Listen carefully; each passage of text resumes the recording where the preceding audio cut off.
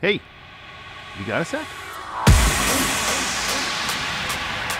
Hey, it's Christian. It is Monday, and I'm super excited because today is the start of the rollout of the new calendar. That's right, I said I was going to be bringing you some changes to the weekly layout. The main transition was going to be happening in September, but because next week is the start of the Plank Challenge, actually starts on Sunday, which I'll be posting every day.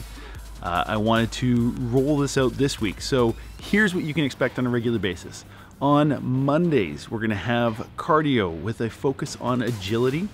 Tuesdays are going to be muscle, body weight muscle workouts. Wednesdays are going to be the calm day. That's going to be things like stretching and yoga.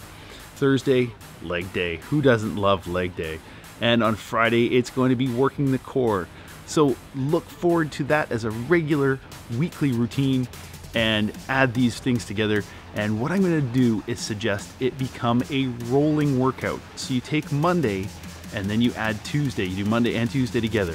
And but then when it comes around to the next Monday, you take Tuesday, Wednesday, Thursday, Friday, and add Monday to it. So you got five workouts that you can do.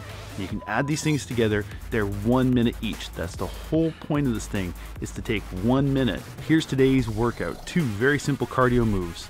The first is front to back lunges. Now, this doesn't seem like a big cardio move at first, but guaranteed you do 30 seconds per side. That's 30 seconds right leg forward, right leg back, and then 30 seconds left leg forward, left leg back you will get your heart rate pumping. This is a good one to start with because it's not too bad and you don't really need to warm up for it. What you want to do is make sure that you are lifting your knee high when you're stepping forward. You're going to place it down so that you're not too far forward. You want your knees to be at about a 90 degree angle and then you're going to do the big power lifts backwards again, lifting your knee high and then placing your foot back down behind you. Now the second move is known by a couple of names, either high steps, fence hops, or even scissor kicks. Now what I've done is I've placed out three markers roughly one step apart and you're going to start at one end the first variety is called a hop over and all you're doing is you're high stepping your knees up and over and in between each of the markers. So pretend the markers are things that you have to step over and you want to get those knees up high and place your foot down and as you get to the other end hold the inside leg up for that brief moment before reversing and going back the other direction.